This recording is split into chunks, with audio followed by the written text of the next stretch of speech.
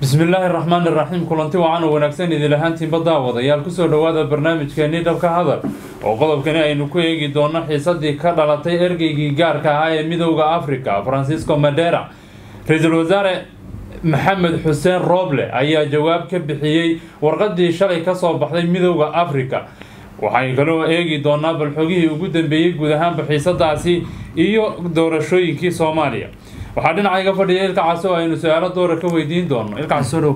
Waa mahadsantahay gulid waan dhawa shalay waa tii aynu ogeyn oo midowda africa ay warqa soo saareen ay ku difaacayaan francisco madero ergeygoodii midowda africa u fadhiyay soomaaliya. Jawaab saacado uun soo yara daahday. Yuu soo tuuray ninkii ahaa roble muxuu yidhi gulida waa mahadsan tahay daawadayaashana waan salaamayna ramadaan mubaarak baan leenahay. Meel kastoo ay joogaan soomaaliya weli waxaa ka taagan xiisadii go'aankii ra'iisul wasaaruhu markii hore uu qaatay ee lagu ceyriyey madayra oo madaxweynuhuna uu ka jawaabay shalay waa kaan ogeyn oo midowda africa ay soo saareen war-saxaafadeed ay ku bogaadinayaan shaqadiisa islamarkaana ay leeyihiin wuu sii wadanayaa oo go'aankii ra'iisul wasaaraha walaaca looga muujiyey isla markaana lagu taageeray midkii madaxweyne maxamed abdullahi farmaajo dhankiisa ka soo baxay waa kaan ogeyn oo shalay waxaan sheegnay in arrintan ay dhabarjab ku tahay ra'iisul wasaare rooble laakiin aan la ogeyn tallaabada uu qaadi doono. Waxayr kadibba wasaaradda amniga ee soomaaliya warqad bay soo saartay ama war-saxaafadeed ayay soo saartay. War-saxaafadeedkaasi oo ay soo saartay waxaa lagu amray hay'adda socdaalka iyo jinsiyadaha ee soomaaliya in ay deganaanshaha iyo dalkugalka ay kala laabato ama deganaanshaha inay kala laabato islamarkaana dalkugalka aan loo ogolaanin madeyra maadaama uusan dalka ku sugnayn oo uu nairobi joogay markii horeba xilligii ra'iisul wasaaruhu uu soo saaray war-saxaafadeedka uu ku sheegay in shaqadii laga eriyay welina uu halkan ku sugan yahay weli uusan soomaaliya ku laabanin markiiba iyada oo laga jawaabayo war-saxaafadeedkii midowda africa dhanka go'aanka madaxweynaha u xaglinayay ama go'aanka madaxweynaha lagu taageeray.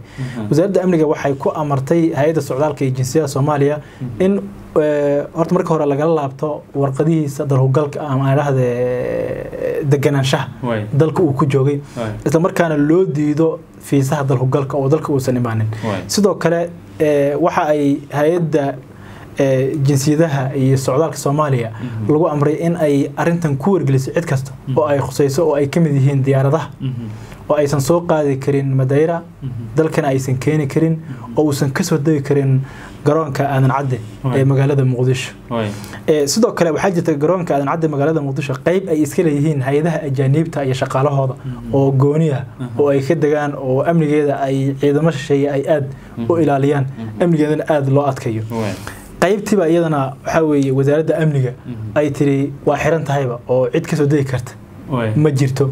Sababtoo ah haddii garoonka keliya hal dhawaa laga xayiro diyaaradaha ma soo qaadi karaan.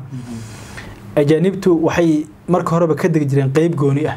Qeybtii gooniga ahayd ayuu ka degi karaa ninkan la dhaho madayra marka qeybtiina wasaaradda amniga waxay tiri waa xiran tahay oo lagama soo degi karo xanimaad. Ayaa lagu soo rogay. Laakiin garoonka marka la fiiriyo waxay moodaa inay ku yar awood badan yihiin xafiiska madaxweynaha iyo hay'adda nisa oo lagu xantay inay dhankaas u janjeeraan ayaa aada uga xoog badan. Sababtoo ah fahad yaasiin hadda kursigiisa inta badan lagu eeday ra'iisul wasaaruhu inuu ku dhegan yahay. Waa kii garoonka intuu ka soo duulay oo ciidamo iyo diyaarada soo qaatay ee beledweyne tegay ee kursigii ka soo qaatay ee innaba ha yaraatee ra'iisul wasaaraha iyo wasaaradda amniga ay waxba ka qaban weyday awoodna ay u yeelan weyday in ay hor istaagto fahad yaasin kursiga soo qaatay. Ugu dambeyntiina markii dambe awoodooda ra'iisul wasaaraha xafiiska waxay noqotay in ay warqadii shahaadada ahayd ama ay dhiigii in loo diido oo laga hor istaago. Intaasoo taasna ay ku timaaday in guddiga doorashooyinka uu xiriir la leeyahay xafiiska ra'iisul wasaaraha sida dadka badan ay qabaan.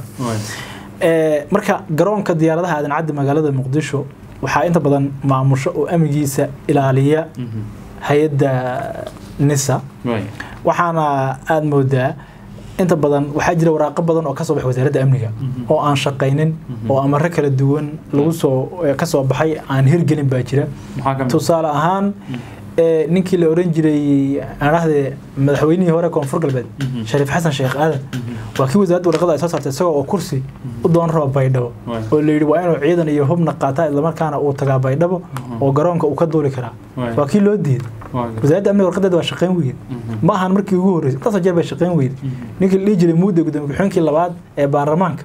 Isagana waxaa warqad bay soo saartay. Waa tii shaqayn weyd ee amniga garoonka baa wasaaradda amniga ay damacday in laga wareejiyo nisa Mhm. waa shaqayn weyde warqado badan baa shaqayn waaye Waay. tanna dad badan baa shaki gelin haya Ee, tusaale ahaan dadka qaar oo ku dhodhow ama mas'uuliyiin dowladda oo ku dhow xafiiska dhanka madaxweynaha ah ilaa hadda laba dhinac ka noqdo xafiiskii ra'iisul wasaaraha iyo xafiiskii madaxweynaha. Waay. waxay leeyihiin warqadan ka soo baxday. Mhm. inkasta oo istaamkii iyo ay waxa weeye calaamadii wasaaradda ay wadato haddana wax weyn oo micno ah.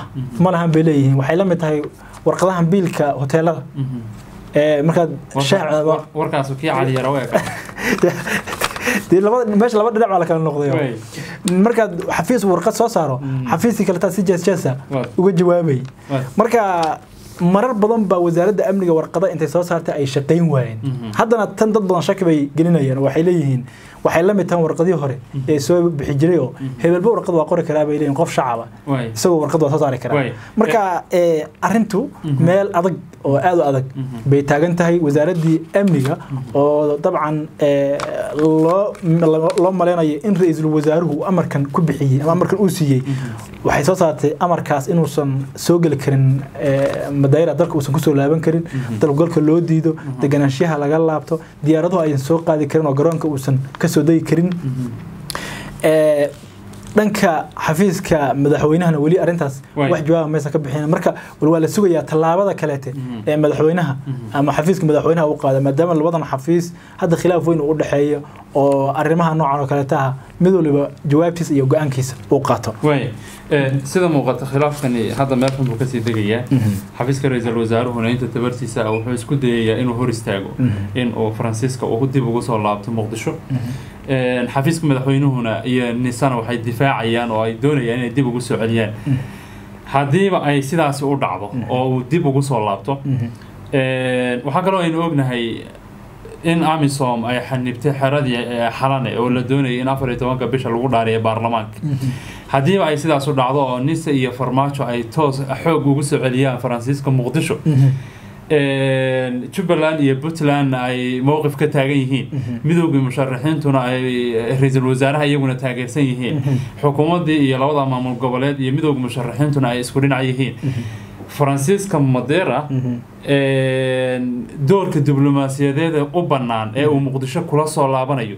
Muxuu yahay kula waa mahadsan tahay arrintaas midowga musharaxiintana waa ka hadleen oo tusaale ahaan midowga musharaxiinta markii go'aanka xafiiska ra'iisul wasaaraha uu ka soo baxay iyagu waxay ahaayeen maalin kadib kuwii soo saaray war-saxaafadeedka habeenkii uu soo baxay go'aanka ra'iisul wasaaraha maalinteedii war-saxaafadeed bay soo saareen ay ku ayidayaan ama ay ku taageerayaan go'aankii uu qaatay ra'iisul wasaaraha. Ee, sidoo kale mar kale markii hadda ay midowda africa shalay war-saxaafadeedka soo saareen midowga musharaxiinta warqad ba iyagana haddana ama war-saxaafadeed bay soo saareen ay leeyihiin ama ay uga soo horjeedaan go'aanka midowda africa oo ay leeyihiin madaira wuxuu ku kacay waxyaabo ka baxsan anshaxa iyo waajibaadkii diblomaasiyadda ee loo igmaday. Isla markaana dalkan lagama rabo mana sii joogi kara ay leeyihiin. Jubbaland iyo puntland hore iyaga waanu ogeyn. Ee, dad badan baa qaba marka la fiiriyo ee, in uusan hadda u oolin weji iyo muxuu ahaa sharaf uu hadda soomaaliya ku sii joogo oo uu kaga sii shaqeeyo dad badan ayaa qaba. Ee, kuwo kale waxay leeyihiin warqadii shalay midowda africa ka soo baxday. Waxay ahayd warqad ee, luuqad xoogaa yaraha qurux badan lagu qoray. Laakiin waxay u eg tahay bay leeyihiin in ninkan lagu sagootinayo oo micnaha uusan ahayn dib dalka ugu soo laabtee laakiin isaga lagu sagootinayo oo xoogaa niyadda loogu dhisayo bay leeyihiin. Ee, waxay ka tixraacayaan xilligii ninkii la dhihi jiray nicholas haysom ergeyga gaarka ah ee qaramada midooda soomaaliya. Dowladda soomaaliya ay eriday ee arrimihii baydhabo ka dhacay. Darteed loo eriyey xilligaas xafiiska qaramada midoobe ee soomaaliya ee yunsum loo soo gaabiyo. Waxay soo saareen war-saxaafadeed ay leeyihiin waxaan ka walacsannahay go'aanka dowladda federaalk ee soomaaliya. Ay qaadatay. Ee lagu eriyey haysoom arrintaasina waan cambaareynaa ninkaasina waddanka wuu sii joogaya. Laakiin muu sii joogin marka waxay leeyihiin warqadii xilligaasi ayay tan midooda afrikana. La mid tahay oo niyadda loogu dhisaya oo ninkan maadaama ahaa nin shaqaale caalami ah oo dee waxaa weeye hay'ada matalayay xogaa niyadda loogu dhisaya oo xogaa waxaa lagu yar ilaalinaya magaciisii iyo sharafkiisa lagu yar ilaalinaya. Laakiin waa mid sagootin ah ee dadka qaar ay siyaasiyiinta u arkaan. Sidoo kale dadka qaar iyagana arrintan ka firceliyey ee ka hadlay waxaa ka mid ahaa taabit isagana oo ka mid ama ahaa guddoomiyihii hore ee gobolka banaadir. Duqii muqdisho. Ba isaguna waxa uu sheegay in ay muhiim tahay madaayira inuu soomaaliya si nabada uu ku dhaafo oo aysan wax sumcad iyo maaragtay magac ah oo hadda soomaaliya u yaalla aysan jirin. Sidoo kale professor afyare cilmi oo isagana ka mid ahaa aqoon-yahanada soomaaliyeed yaa isaguna waraysi mid ka mid a idaacadaha ay la yeesheen waxa uu ku sheegay in aysan jirin wax weji ah oo u yaalla madayra soomaaliya. Marka dadka dad badan oo siyaasiyiina ayaa ka hadlay dad badan baa ka filceliyey marka la fiiriyana dadku laba fikir bay kala aaminsan yihiin ama laba dhinac bay waxa weeye kala yihiin. Dhinacna waxay aaminsan yihiin in madayra uu ku xadgudbay anshaxii iyo shaqadii iyo waajibaadkii diblomaasiyadeed ee u yaalay ama qof diblomaasi ahaa shaqooyinkii iyo wixii iyo maaragtay waajibaadkii u yaalay inuu ku xadgudbay. Bay u arkaan soomaaliyana hadda wax sharaf aha marka la fiiriyo codkii sirta ahaa ee laga soo gudbiyey iyo cayrintii lagu sameeyey. Waxay leeyihiin wax maaragtay maanta sharaf ah ama magac ah ama masab ah oo maanta uu soomaaliya uu kaga shaqayn kara wax wejiyo oo u yaalla ma jiro. Kuwo kalena way ka duwan yihiin iyaga oo waxay leeyihiin eeda ayaa loo jeediyey ninkan. Laakiin midooda africa waxay ku adkaysteen soomaaliya inuu ka sii shaqeeyo oo maysan ayidin ama maysan yeelin go'aankii ra'iisul wasaare wayna ku gacan sayreen. Wuxuuna xaq u leeyahay dalka inuu weli uu ka sii shaqeeyo. Labadaa dhinac bay kala taagan yihiin. laakiin waxaa moodaa dhinaca hadda ninkan in ay badan yihiin dhinacan oo weliba mucaaradka aada ugu badan yihiin aaminsan inuusan wax weji ah uusan u oolin wax doorahna uusan uga banaanayn inuu shaqadiisi sii wato islamarkaana ay u habboon tahay isaga in uu soomaaliya faraha uu ka qaado islamarkaana howlaha uu saa uu kaga tago. Way aad baa mahadsan tahay saaxiibka ilka case daawadayaal. Intaasi ayaan jeclahay inaynu qodobkana ku soo gebagabayno intaynu ku kulmi doonno barnaamijyadeena dambe ee dhabka hadal waxaan idinkaga sii tegaynaa asalaamu calaykum waraxmat ullaahi tacaala wabarakaatu